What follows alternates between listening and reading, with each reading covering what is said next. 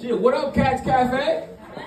How we doing? I love the energy. You lit? Hell yes. January, it's the new year. It's almost my favorite season. Tax season. Oh. Yeah. That's the time of the year when niggas start being nice to their baby mamas. Tax season. Yeah. Some of some. You claim the boy, I claim the girls. Tax season. Best season. This is a season where big girls' self-esteem go up by like 10 points. Yeah. All the broke niggas that start lying to her.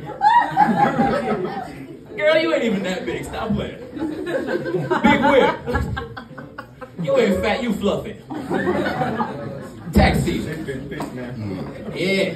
I know y'all looking at me in my swag, you know what I'm saying? I'm dressed like a security guard. I know. Because I am. I work right up the block.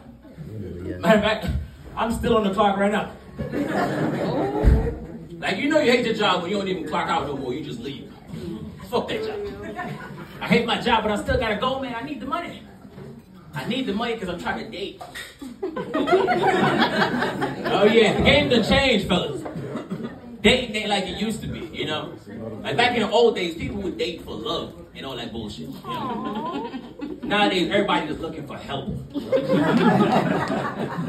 no, I'm serious. I met this one girl, we just started talking, right? I'm talking to her. She's like, so you gonna help me pay my rent? And I'm like, bitch, I got a roommate.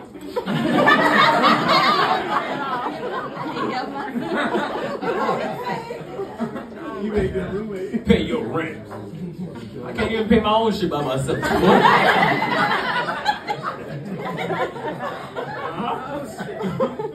Relationships ain't like it used to be. I see a lot of y'all on dates and shit. We gotta be careful. I learned a lot of shit about relationships, you know, because I I've been in about 12 relationships. None of those relationships were mine.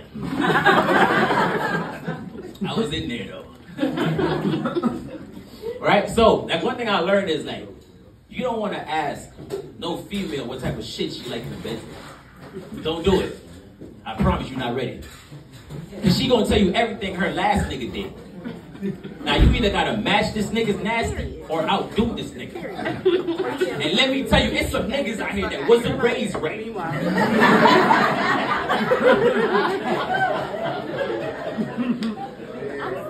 And they set the nasty bar way too high. First of all, this nigga got all Yeah. that. I met one girl, she told me her last nigga ate pussy, ass, and toes. I said, bitch, you better go back to him. Because if he was doing all that and you left him, I know I ain't got a shot. Talk about some, oh, he made me squirt so hard. First of all, look, I don't even believe in squirt. That shit is piss. I don't care what you say, that shit is piss. If squirting ain't peeing, how come I can do it?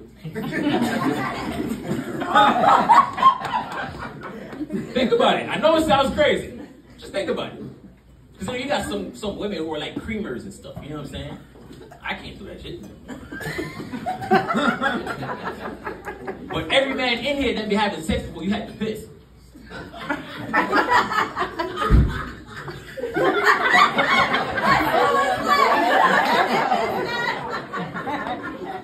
That's all I'm gonna say. That's all I'm gonna say.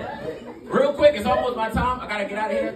Uh, fellas, make some noise if you hate your baby mama.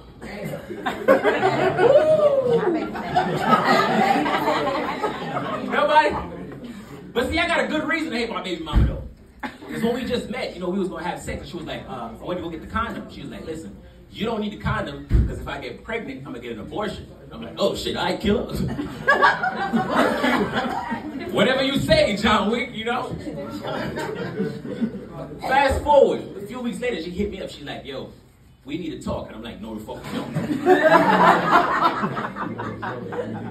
she like, I'm pregnant. and It's yours. I'm like, no, the fuck is not. and the question shouldn't be whether or not this baby is mine.